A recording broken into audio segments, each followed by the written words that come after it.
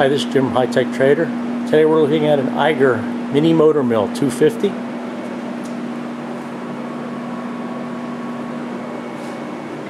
Mini bead mill. It's 220, 230 volts to a three phase.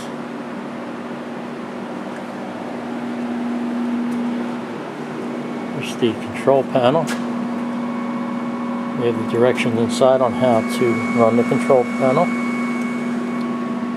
We have some spare parts for the Eiger mill. Let's start it up and watch it work.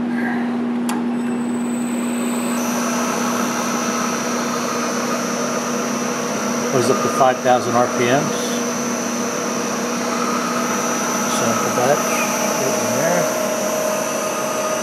You can hear it working. A timer.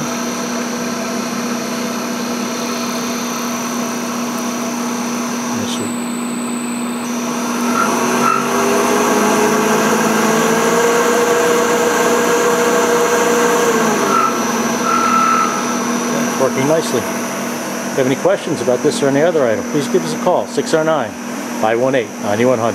Thank you from High Tech Trader.